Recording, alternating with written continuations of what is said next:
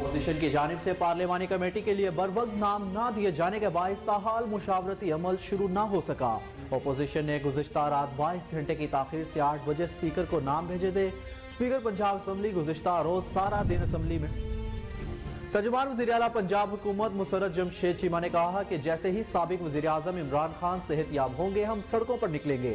Twitter पर अपने पैगाम में मुसरत जमशेद चीमा ने कहा कि कराची बल्दियाती इंतबात में अवामी मैंडेट पर जो डाका डाला गया, इसकी मिसाल नहीं मिलती।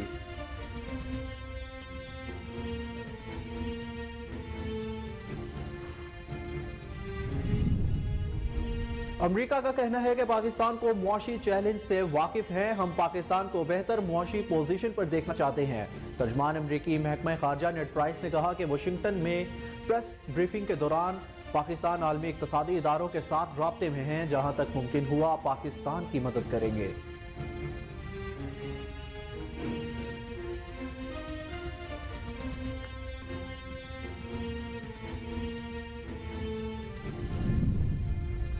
विफाकी वज़ीर दाखिला राना सनाउल्ला ने कहा है कि इमरान खान पाकिस्तान को डिफ़ॉल्ट करने की मुहिम चला रहा है।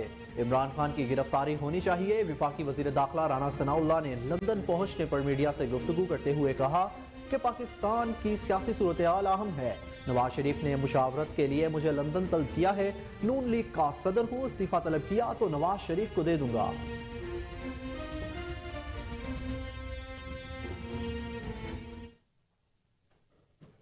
कोहनूर कोहिनूर न्यूज़ के साथ मैं हूँ अहमद बिलाल मांझ। हेडलाइंस आपने जानी, न्यूज़ स्टूडियो से अब तक के लिए इतना ही। मजीद अपडेट्स से बाखबर रहने के लिए देखते रहिए कोहनूर न्यूज़।